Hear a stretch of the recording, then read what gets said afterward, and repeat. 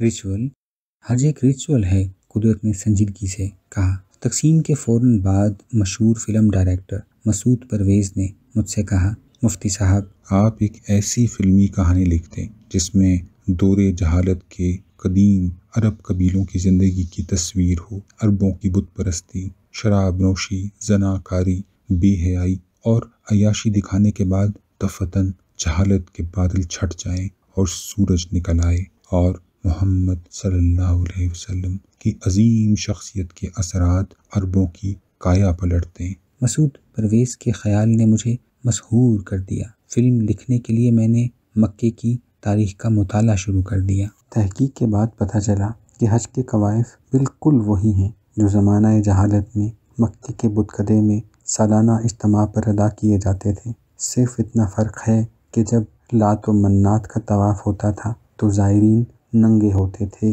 हाथों में शराब के प्याले होते थे और बगलों में महबूबाएँ होती थी। लेकिन अब ज़ायरीन के जिस्म मलबूस होते हैं। दिलों में पाकिज़ा जज्बात की भीड़ लगी होती है। होठों पर अल्लाह की हमदो सना के जाम होते हैं और अगरचे मस्जिदुल हराम में औरतों और मर्दों दोनों की भीड़ होती है। लेकिन वहाँ ना कोई औरत होती है, ना मर्द होता है। क्या ये सच है? मैंने कुदरतुल्लाह साहब से पूछा। हाँ। वो बोले, तकरीबन। अगर हज वही पुराना रिचुअल है तो फिर मियाँ साहब जैसे मुआज़ लोग इसके लिए क्यों मुँह फाड़ फाड़ कर रोते हैं? पता नहीं। कुदरतुल्लाह ने कहा, कुदरतुल्लाह, एक ऐसे तंग मुँह का मर्तबान है और उन्होंने इल्तजामन अपने इल्म और मुशाहिदे के पानी की सतह इतनी नीचे रखी हुई है कि उससे इस्तवादे के लिए मर्तबान में बहुत से पत्थर फेंकने पड़ते हैं। तब कहीं जाकर तालिब की चोंच हरी होती है